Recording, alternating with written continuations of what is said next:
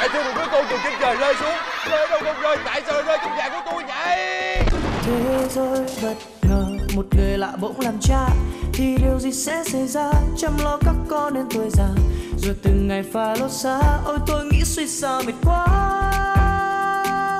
Có lẽ ông trời chẳng buộc mình phải bỏ rơi. Để từng ngày tiếng à ơi bên nhau sớm hôm chẳng thể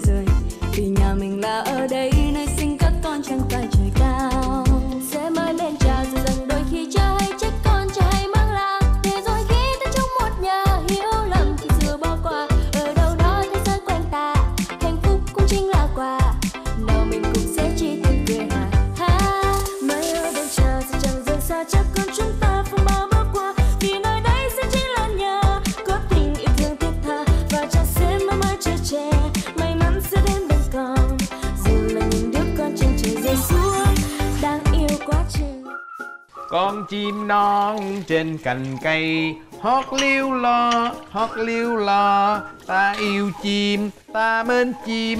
Gì Chà, bữa này rửa chén rồi hát ca nữa. Có gì vui vậy? em biết sao không? Ừ. tự nhiên anh cứ nghĩ tới cái cảnh đó là mỗi ngày anh được thức cùng giờ với em nè được ờ, ở chung một mái nhà với em và đặc biệt đó là được ăn cơm chung với em á tự nhiên anh thấy mình hạnh phúc quá. Sớm đi hả? ừ, sớm thích đúng không? Ờ, mà anh về nhà cũng lâu rồi đó. Anh ra coi đi thăm hỏi hàng xóm xung quanh coi thử sao. Chứ ru rút trong nhà hoài hả? đúng rồi đó. Đúng ý của anh đó. Anh nghĩ là anh cũng cần phải làm một cái bữa tiệc ra mắt giới thiệu cho mọi người trong cái khu này biết anh là ai. Đúng không? Thôi, làm vừa vừa bớt bớt lại. Chủ yếu là kêu anh đi ra đường giao lưu mọi người để bớt sến ông ơi. Rồi chén thích đi em nói đúng. Mình sẽ bắt đầu tạo những cái mối quan hệ nhỏ lẻ mới được.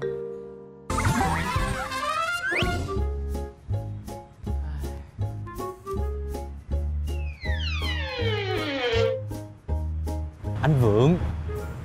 Anh vượng là chủ quán cà phê. Người mà hay giúp đỡ linh. Một người dễ thương tốt bụng như vậy mình phải lấy điểm ảnh thôi. Năm cái đường hai cái cà phê bột một thùng nước ngọt một thùng sữa. Ông phải năm cái đường đúng rồi sao tiền đâu nhiều thế nhỉ? Vật giá leo thang quá. Kinh người đúng là chiến tranh mỹ trung có khác ê cái gì đấy? Em tạo ấn tượng. Ừ, làm cái gì đấy? Bị hâm mà tôi đang tính toán quên hết rồi lại phải tính lại rồi. Bực cả mình. Năm cái đường hai ký cà phê mình làm ấn tượng gì một để giao lưu sữa, thân thiện mà sao? Một thùng nước ngọt. Người gì đâu mà khó chịu. Bởi vì càng ngày càng cắt tóc là đúng rồi. Ê, chiến hữu! Đồ hủ vậy? Ê, ê, ê, đợi em chút. Gì? À, anh rảnh không? Chi vậy? Em tính rủ anh đi uống cà phê đó anh tèo. Sách nặng chết rồi không có thời gian uống cà phê. À, thì, uống cà phê chút đi là vô làm tiếp. Thôi nó không có uống mà đi về. Tại vì á em đang muốn tạo thiện cảm cho tất cả mọi người ở đây. Thiện thiện cảm mà đúng rồi anh tèo. Trước mắt không có thấy thiện cảm vậy đó. Ủa sao vậy? Cái tên tôi mà kêu không đúng nữa. Thì anh tên tèo. Tẹo tẹo gì? Cái tên tí Tèo là tên ông già tôi. Muốn rủ ông uống cà phê lên bàn thờ rủ ông kìa. Mệt rồi gì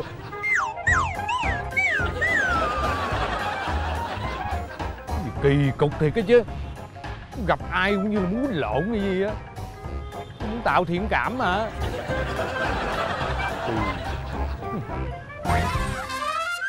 Người yêu ơi Cơm em đã héo khô Mặc hồ lá xác xơ Những con đường Ủa, về hả?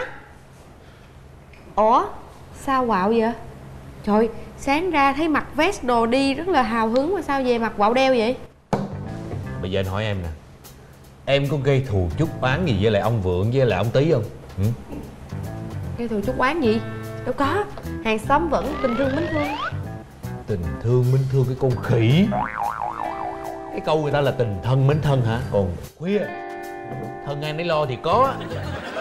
Ông nội kỳ cục à. Sao, người ta làm gì anh? Tự nhiên anh quạo. Nè em thấy không? Anh ăn mặc chưa? Anh ăn mặc lịch sự anh ra đó anh đi tìm mọi người để anh tạo cái tình gọi là tình tình tình giống như anh nói đó tình thương mến thương. Để gắn kết để đoàn kết nhau xây dựng cái mối quan hệ vững mạnh. Nhưng sao vừa mới gặp ổng thôi nói một câu ông quay đi luôn. Ông nào cũng vậy hết trơn á có phải kỳ cục không? Anh có bị khắc khe quá không vậy? Nhiều khi anh tới anh chào hỏi anh nói chuyện với người ta lúc người ta đang có chuyện có công có việc xong ờ người ta ờ ờ qua loa người ta đi thôi. Không không không không phải cái thái độ đó. Đây là một cái thái độ coi thường coi thường. Chứ sao? Anh không có cam lòng. Nè một cái thái độ coi thường ra mặt luôn. Mặt anh còn không thèm nhìn nữa mà. Anh quá đáng. Đang cái gì? em ở đây bao lâu rồi? Hàng xóm nói gì em biết tính biết nết. Anh bớt khắc khe đi. Anh coi là anh. Anh sao để người ta anh chào người ta người ta không nhìn mặt anh? Mắc gì? Trời ơi anh vừa lịch sự anh vừa thân thiện vừa dễ thương nè. Thôi là bây giờ không nói chuyện đó nữa. Anh nghĩ được gì một cách vậy nè. Bây giờ ông ấy mình bán nhà đi chỗ khác đi. Vậy?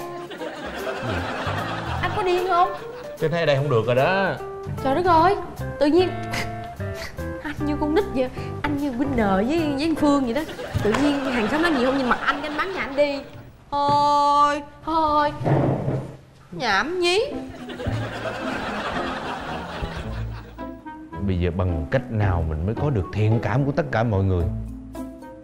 Rõ ràng đây là thái độ coi thường. Có khi nào họ coi mình là cái người ở ké nhà vợ cho nên họ coi thường mình đúng không? Không được. Tôi sẽ không để cho ai coi thường tôi đâu.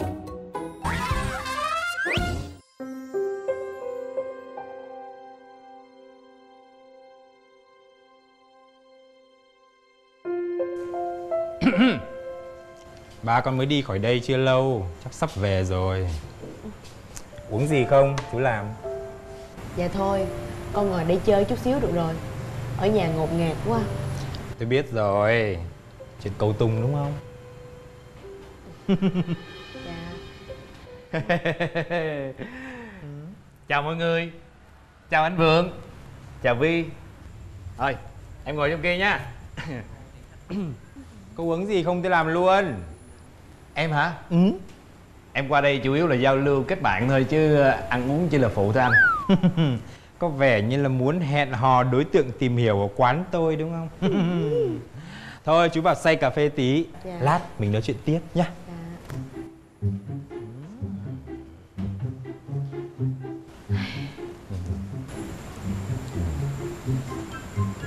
Đúng là cái đồ không ra gì. Cái gì? Cô vi cô vừa mới nói gì đó? Cô mới nói không ra gì hả cô nói vậy là cô bậy lắm cô biết không? Ủa anh mắc cười nha. Tôi nói gì mà bậy? Sao không bậy? Cô có biết là trên đời này á, có những người họ quen nhau cả chục năm họ còn chưa có vội vàng đánh giá người ta như vậy. Huống hồ gì mới biết à mà cô nói như vậy? Phụ nữ có giác quan hay lắm anh ơi. Tuy là chưa quen biết quá lâu nhưng đủ để phụ nữ đánh giá được con người và bản chất của đàn ông là như thế nào. Cái gì? Bản chất của đàn ông hả? Rồi bây giờ cô nói bản chất của đàn ông như thế nào cô nói nghe coi chơi coi là đồ tồi. Là đồ không ra gì. Đồ lợi dụng. Đồ xấu xa. Thế, cô nói cái gì vậy? Cái gì tào lao vậy? Hả? Tôi nói cho cô biết nha. Tôi nể cô là tại vì cô là bạn của linh. Cho nên tôi mới nhịn cô đó. Cô đừng có nói tào lao nữa. Ơ. Ơ cái gì? Tôi không nghe cô nói nữa. Ủa anh anh cái gì? Anh- anh cái gì? Tôi nói không nói Chú chuyện. Vượng ơi cho con hai ly trà tắt Chờ chút nha Chú rửa ly xong có liền. Anh vượng anh cứ việc rửa ly đi. Việc này để em Làm được không đấy? Trà tắt đúng không? Dạ. Chờ chút xíu có liền. Dạ, ok ok làm như hay lắm vậy tôi là tôi quen anh tùng mấy năm rồi. Làm như tôi không biết. Tự nhiên cắt giọng tôi. Trà tắt trà tắt. Trà tắt thì dễ thôi mà. Ui.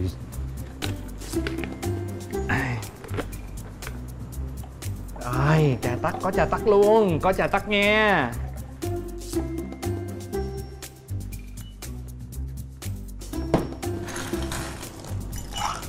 Có trà tắt ngay trà tắt mát lạnh.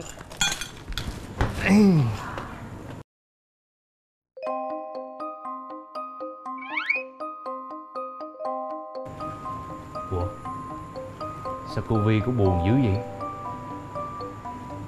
Có khi nào Hồi nãy là Mình hiểu lầm cổ không? Mình sừng cồ lộn không ta?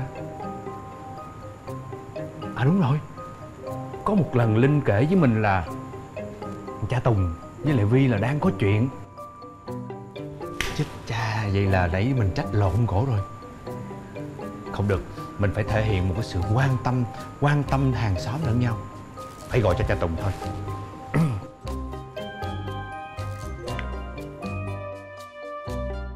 Alo? Ông tùng hả? Trời ơi nè tôi nói ông nghe nè. Ông á, ai cũng biết là ông đang đi công tác xa, nhưng mà ông làm ơn ông quan tâm tới vi một chút. Trời đất ơi, ông có biết là bây giờ vi đang như thế nào không? Cái mặt buồn hiu luôn. Đang ngồi quán cà phê nè. Trời đất ơi, mình là đàn ông nha.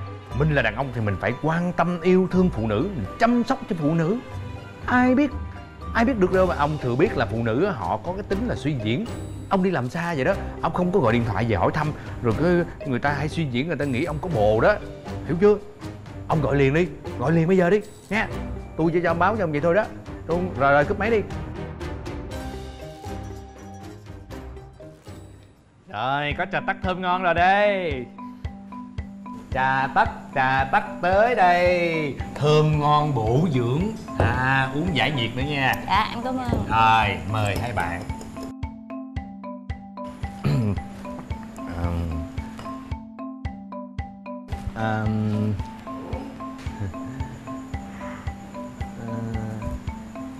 Vi à chờ xíu chờ xíu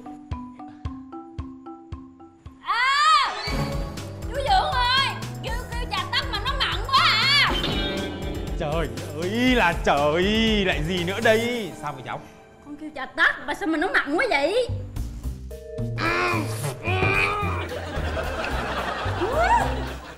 Cái gì đấy trà tắc Tắc nào Lấy ở đâu? Ở trong quầy á. Chỗ nào? Trong cái hũ có nắp màu trắng dễ thương lắm. Có biết đó là cái gì không? Đó là nước mắm ghê, quá. Thôi con xin tính tiền con tính tiền chứ phượng ơi. Chú xin, xin lỗi nhé, chú xin lỗi nhé. Trời ơi, nhân viên mới không. có biết gì hết, vô tích sự quá. Tuyển xin lỗi nhân nhé, viên lại xin nha, lỗi chú nhé, Phượng. Xin lỗi. Nha, anh nguyên là anh hả? Anh gọi điện thoại cho anh tùng đúng không? Đúng rồi. Anh làm cái gì vậy? Ý tốt mà. Đốt cái gì? Anh làm vậy là đốt nhà tôi đó. Ồ vậy hả? Không. Muốn quán tôi phá sản đúng không? Không có đâu ai trời ơi, khổ ghê vậy đó. Thật sự tôi qua đây là tôi chỉ muốn trở thành một người hàng xóm tốt. Tôi muốn tạo thiện cảm cho tất cả mọi người thôi mà. Tốt đâu không thấy, Thiệt đâu không thấy. Toàn rắc rối thôi. Mai ơi just